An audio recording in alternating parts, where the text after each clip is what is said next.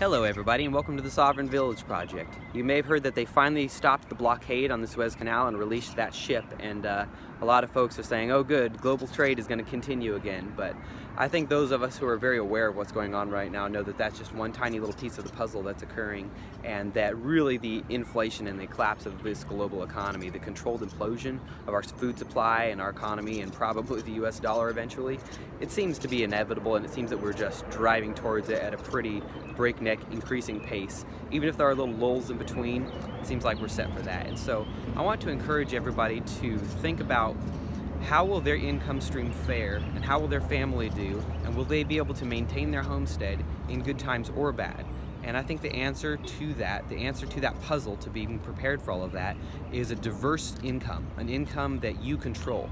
Where if they are mandating some kind of tyranny at the state level, and you can't act, you can't go to work anymore, such as I experienced here in Nashville, I couldn't play a lot of bars because they required the mask, and I will not wear the mask, and so I just had to give up that income and, and those uh, business relationships that I'd worked so hard to achieve.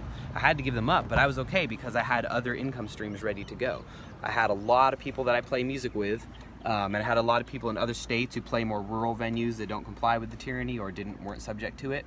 So I had a, a, pretty diverse income stream there, and I think that's what we all need to be doing is diversifying our income streams and attaining sovereignty in our income streams. We need to have control over our living. It's time to not have a boss anymore. I'm not saying quit your job today, but I am saying quit your job next year. Unless you're with an employer whose values represent yours, it's time to get out and it's time to lay the groundwork for diversity. But even if you do, it's time to have a diverse stream of income. I really like the micro income streams idea. I think it fits what a diverse homestead can produce. Your homestead is going to produce surpluses of some things if you're running it right. And we use that on our homestead to diversify our incomes and remove ourselves from employment and dependence on employment. And so some of our incomes, I'll just give you some of mine in case it'll jog some ideas. Of course, I have my music shows, and a lot of that's cash income, which is good because anytime that I can avoid paying taxes, well, actually, all of the time, I do. I don't pay taxes to uh, an Ill illegitimate government. So I like that it's cash. Um, I teach music lessons, and even in the middle of the uh, the uh, pandemic propaganda, my lessons still continued. I lost some, but a lot of them continued because parents really prioritize education for their children. Um, I also sell self-sufficiency products, a lot of things like rainwater collection barrels. Um, I sell things off of my farm, whatever surplus I have. If I have a lot of tomatoes, um, I'm going to start stepping more into perennials and cuttings and things like that, uh, longer term stuff focus really on the permaculture type plants that people like in that world because that's uh, exploding so fast. So whatever your homestead is producing, maybe that's timber, maybe you have a sawmill. Um, your income can also be your gear. If you have to have a tractor for what you do, then you might as well also rent out that tractor. If you have, if you buy a car, you should find a way to derive some income from your car. Turning your liabilities into asset is a great way. Assets is a great way to get income streams. Um, Hipcamp, Airbnb, rentals, in, um, unconventional rentals of uh, cabins and things like that on your land. Uh, that kind of passive income is great, great income streams that can weather just about anything if they're set up properly. Um, I also just have a lot of good relationships with farmers in my area, so when they have harvests or crises, they'll call me if they just need some just an extra little bit of labor on the farm. Um, I don't consider any kind of blue collar labor beneath me, and, and I'll I'll go help for free or for money and build relationships with the local farms, and that's been really good.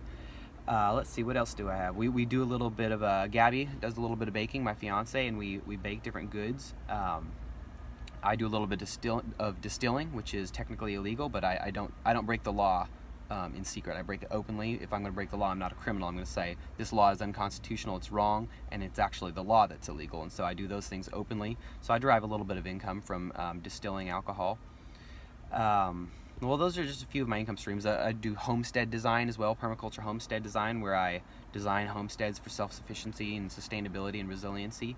And so these are all different things that I love to do. They're different passions of mine, but they can all be monetized. And that's how we all need to be building our new sovereignty in our income. And it's so freeing. To not have a boss is, is really incredible. I'm lucky to have come from the music space because I was already prepared to first of all, I'm used to being poor, but also I, I'm, I've not had a boss for a long time and it's freeing when you just can walk away from a job. You don't have to wear a compliance device. You're not going to have to stick a shot you don't believe in into your body. You're not going to have to comply with the stuff if you don't depend on it. So let's get out there and start building sovereignty in our incomes. I would love to, you know, I love to do this, but I'd love to hear brainstorming in the comments. If you have ideas uh, or things that have worked for you or things that you're trying to bring income, let's share this knowledge and these ideas and let's come up with ways that we can really all become independent and be our own bosses and produce some real income from resilient, diverse streams.